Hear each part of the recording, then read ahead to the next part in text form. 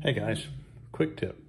I use Excel a lot working from home for this past year now. Every once in a while I'll notice that the scroll lock has, has turned on and it's really, really irritating. You have to open up like this virtual keyboard or the on-screen keyboard and sure enough, scroll lock is on. You have to push the button to turn it off. So then I started looking at uh, other keyboard combinations, and here's what I found. Function S. See, right there, I do function S, scroll lock. Function S again, turns it off. Yeah, hope that helps you guys out.